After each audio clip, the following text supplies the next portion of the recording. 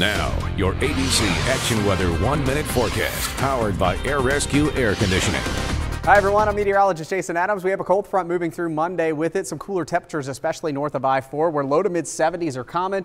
Still looking at those upper 70s and lower 80s the farther south and east you are. That cooler air is going to take all day to move through the southeastern sections here of Tampa Bay. But big changes, and also you'll notice some clouds and even the chance for showers. Maybe as early as your morning commute. Doesn't look like we'll see a widespread soaking rainfall. Just a few scattered light rain showers with perhaps an isolated downpour mixed in. And we'll stay mostly cloudy throughout the day. And that will also be the case Tuesday. We'll have another push of some cooler air coming in and with it a slight shower chance and mostly cloudy skies. That will limit the warming as temperatures struggle to get out of the 60s for a lot of us over the next couple of days beyond Monday. So Florida's most accurate seven day forecast, slight shower chance Tuesday, highs only into the 60s. Wednesday and Thursday morning, widespread 40s with perhaps even a few upper 30s in our coldest spots north of I-4. But as quickly as that cooler air moves in, we're back up into the 80s by next weekend.